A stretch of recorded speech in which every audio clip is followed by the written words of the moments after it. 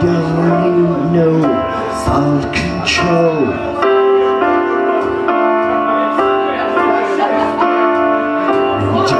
sarcasm in the classroom.